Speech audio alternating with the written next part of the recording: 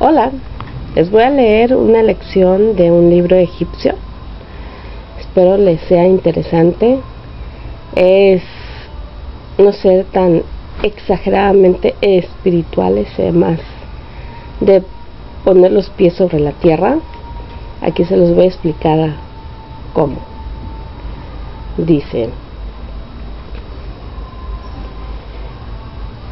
Nuestro objetivo en estas lecciones es fijar la atención sobre la verdadera condición de los sentidos, pues podría ocurrir que el afán de adquirir en el afán, en el afán de adquirir nuevos conocimientos nos desviarían de nuestro camino, extraviándonos por derroteros que nos dejen en la oscuridad en vez de conducirnos a la luz. Nuestros cuerpos son perfectos, pero la mayor parte de los hombres no están en condiciones de comprenderlo. En general, se olvidan por completo de lo que se debe uno a sí mismo y extraviarse en regiones de lo que es difícil, de la que es difícil salir. Todos son nebulosidades, dudas, prejuicios, de los que nos es no es fácil de desprenderse.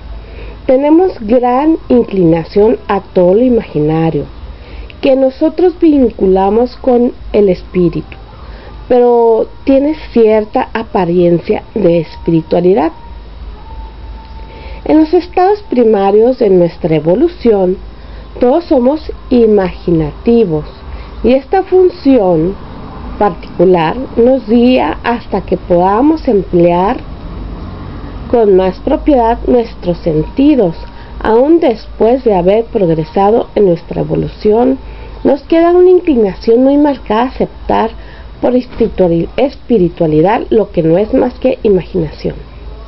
Este tipo de cosas lo maneja mucho el yoga, tengan cuidado. Esta confusión nos conduce frecuentemente fuera de los dominios de la razón y del sentido común, ya que poseemos más imaginación de la que conviene a seres colocados en un plano de, de continua progresión. Y este exceso es un impedimento para la acción perfecta de otras facultades más elevadas. Es nuestro propósito equilibrar las funciones cerebrales para que todo pueda verse, oírse y comprenderse en su genuina presentación. Es un error creer que somos seres exclusivamente espirituales o materiales. Nosotros somos hijos de la naturaleza y es nuestro deber devolver y perfeccionar todo cuanto está en nosotros. Tratar las cosas bajo un solo aspecto conduce a muy limitadas conclusiones. Es legítimo que sepamos muchas cosas referente al cielo, al infierno, acerca de lo santo y de lo bello, pero importa mucho más conocer la vida presente y quizá desde entonces seremos capaces de apreciar la venidera. El Divino Maestro pregunta a sus discípulos que ansiaban les instruyera acerca de la vida espiritual. ¿Cómo queréis comprender la vida espiritual si no podéis comprender aún las cosas de la vida terrenal? Debemos aprender a conocer la vida presente y conocernos a nosotros mismos. Conociéndonos mejor comprenderemos que, aunque todos nos parecemos, no existen dos seres iguales sobre la tierra. Y la evidencia está de esta gran verdad nos hará más tolerantes e indulgentes. Poseemos algo personal y exclusivo que nos caracteriza y la belleza y la perfección de la vida depende en gran parte de la superioridad de la propia individualidad.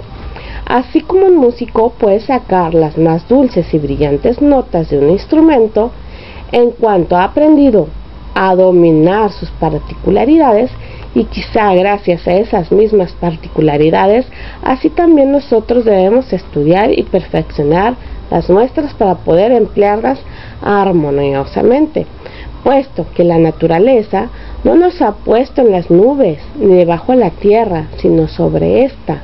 Creemos necesario conocer primeramente lo que nos interesa del medio en que vivimos.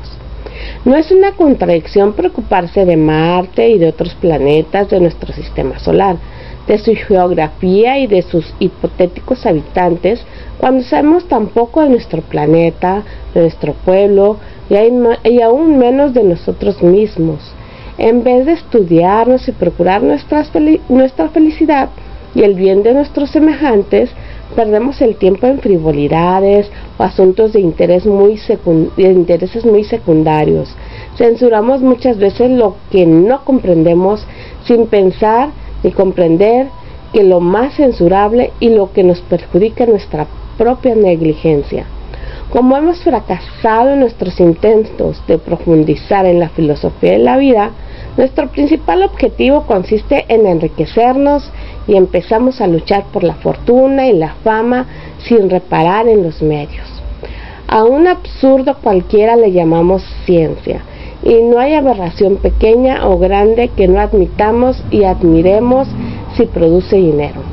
Es lamentable rebajarse tanto, pero estos son los medios habituales en que tristemente nos desenvolvemos.